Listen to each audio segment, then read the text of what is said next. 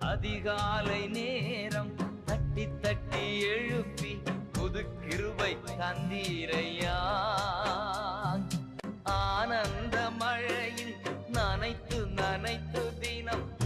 சொல்ல வைத்தீரையா? கிறிஸ்துவுக்குள் மிகவும் பிரியமானவர்களே இந்த நாள் அப்படி இந்திய நாட்டிற்கு மிகவும் ஒரு முக்கியமான நாள். இந்திய குடியரசு தினம்.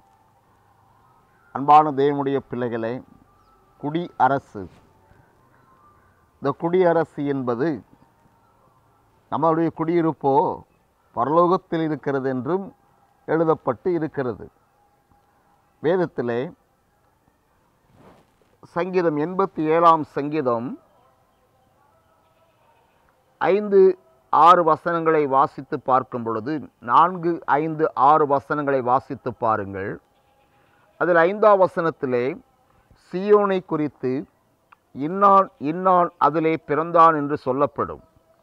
உன்னதமானவர் தாமே அதை ஸ்திரப்படுத்துவார். கர்த்தர் ஜனங்களை பேரெழுதும்போது இன்னான் அதிலே பிறந்தான் என்று அவர்களை தொகையிடுவார். குடிமதிப்பு எழுதப்பட வேண்டும் என்று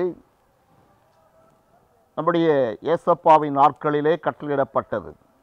அதேபோல் அவர்கள் குடிமதிப்பு எழுதுவதற்காகத்தான் அவர்கள் பெத்லேயமுக்கு சென்ற பொழுது இயேசு கிறிஸ்து பிறந்தார் என்பதை குறித்து நாம் வேதத்திலே வாசிக்கிறோம். ஆக அன்பான தேவனுடைய பிள்ளைகளே இந்த உலகத்திலே நாம் வாழக்கூடிய நாட்டிலே குடிமதிப்பு இந்த நாட்களில் நம்முடைய இந்தியாவில் எத்தனை ஜனங்கள் குடியிருக்கிறார்கள் என்பதை குறித்து நம்முடைய தமிழ்நாட்டில் எத்தனை ஜ மக்கள் குடியிருக்கிறார்கள் என்பது நம்முடைய தமிழக அரசிற்கும் நம்முடைய இந்திய நாட்டிற்கும் தெரிந்திருக்கிறது. காரணம் அவர்களை தொகையிடுகிறார்கள். ஆனால் பரலோகத்திலும் சியோனை குறித்து இன்னான் இன்னான் அங்கே பிறந்தான் என்று கர்த்தர் பேரெழுதுவார் அதை உன்னதமானவர் தாமே ஸ்திரப்படுத்துவார் என்று. ஆகவே நம்முடைய பெயர் ஜீவ புஸ்தகத்தில் எழுதப்பட வேண்டும்.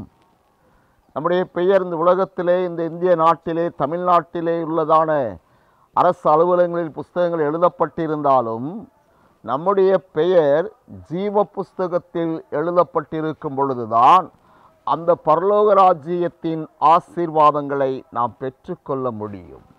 அன்பு தேவ பிள்ளைகளே இந்த குடியரசு தினத்திற்காக நாம் கர்த்தருக்கு நன்றி செலுத்துவோம். இந்த நாளில் கர்த்தர் அநேகமாயிரம் ஜனங்களை நம்முடைய பரலோகத்தில் எழுதும்படியாக நாம் ஜெபிப்போம். கர்த்தர் அற்புதங்களை செய்வார். எங்களை அதிகமாய் நேசிக்கிற ஏசப்பா இந்த குடியரசு தினமாகி இந்த நாளுக்காக ஸ்தோத்திரம். இந்த நாளிலும் அநேகமாயிரம் ஜனங்கள் ரட்சிக்கப்பட அன்று அவர்களுடைய பெயர் ஜீவ புஸ்தகத்தில் எழுதப்பட நாங்கள் மிகவும் பாரப்பட்டு ஜெபிக்கிறோம். நீர் அற்புதங்களை செய்யுங்கப்பா. நீங்கள் செய்வதற்காக ஸ்தோத்திரம். கத்ராக இயேசு கிறிஸ்துவின் நாமத்தில் ஜெபிக்கிறோம் பிதாவே. ஆமேன்.